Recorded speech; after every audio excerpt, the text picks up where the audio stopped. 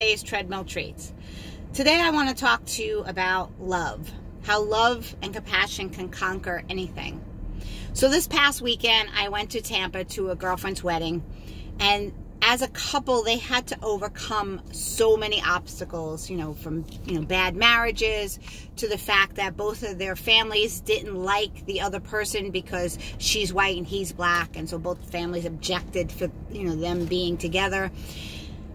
And it really got me thinking about what they had to overcome to be together, you know, to get to this day, to be married, and how love really does conquer all. You know, I truly believe that.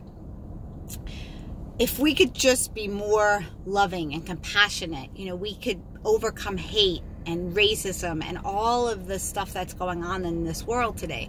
If people would just be more open to loving people, you know, loving people who they are in their souls and not the color or their religion or their sexual orientation, just to be able to know and love somebody, you know, for who they are. Um, you know, people would change their views if they had an interracial couple that were their friends and they could see how much they had to go through to be together, you know, what that true love really means. Or, you know, how many times I've seen my gay friends back in, especially in the AIDS epidemic, where they stayed with them and held their hands until their dying breath. I mean, this is true love. No, true love doesn't, it's not about color or religion or sexual preference. It's about two souls that love each other until your dying breath. And if you could be around that and see that, that would really change your point of view about love, you know, and about being open-minded to different types of love. I mean, who are we to judge? Why why do we think that we have to point the finger because it's not normal? It's not what society is expected. You know, that that doesn't matter. It matters about being compassionate about somebody else's wishes and and just being you know, okay that somebody is different than you are.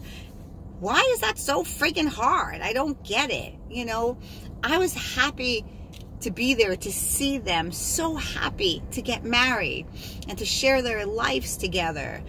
And that to me was the most moving thing ever that they just love each other despite everything, despite the obstacles and the people hating on them and, you know, comments from their friends and family and stuff they had to overcome, they still love each other. And that to me conquers all. Obviously, it did, right?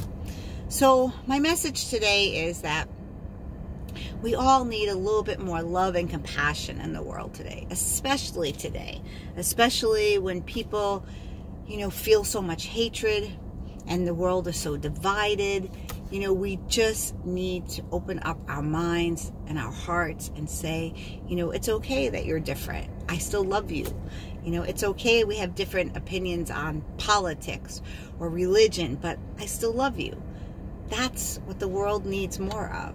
We need more love and compassion. And so I hope that maybe this will give you a glimmer into another world, a world that I know with different kinds of people and different kinds of love. And that all of it is amazing and it's wonderful. And it does conquer all if you open your heart and your mind and you're okay with it. So that's my message for today. Let's all have some more love and compassion in this world. Thanks so much. Check me out on all the social media treadmill treats.